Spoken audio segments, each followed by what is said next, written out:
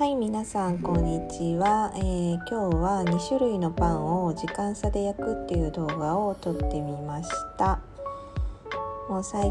パンを毎日焼いててひどい時は1日に5回ぐらいとか焼いちゃうんで、まあ、2種類のパンを焼くのはもう全然慣れっこっていうかまあ普通のことです。そんな感じで、えーと今日はあんこ食パンと